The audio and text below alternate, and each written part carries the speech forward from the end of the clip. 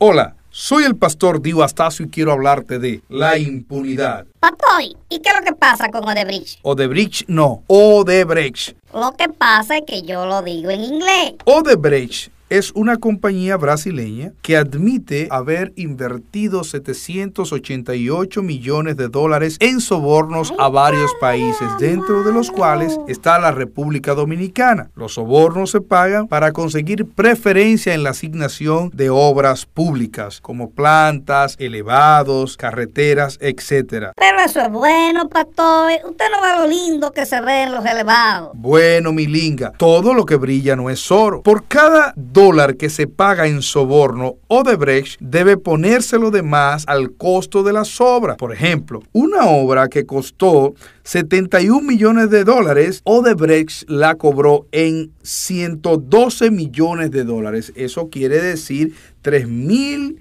195 millones de pesos. Ofrécome, ¿cuánto Para que tengas una idea, el presupuesto de todas las obras de Odebrecht en nuestro país debió sumar 1.668 millones de dólares, pero el precio que nosotros pagamos fue de 3.168 millones de dólares. Eso equivale a una cantidad de 68.770 millones de pesos. Si tú divides eso entre la cantidad de municipios, que son 158, equivaldría a otorgarle a cada municipio 435 millones de pesos. ¿Qué te parece eso? Esa lo me cuento no las hay un chivo. Ahora, las consecuencias de esto no es solo la pérdida del dinero, es también la pérdida de la confianza en el lícito comercio. Porque mucha gente honesta que quiso hacer negocios con el Estado no pudo. Fueron bloqueados por compañías y políticos nacionales que hicieron estos actos de corrupción. De esta manera se le cerraban las oportunidades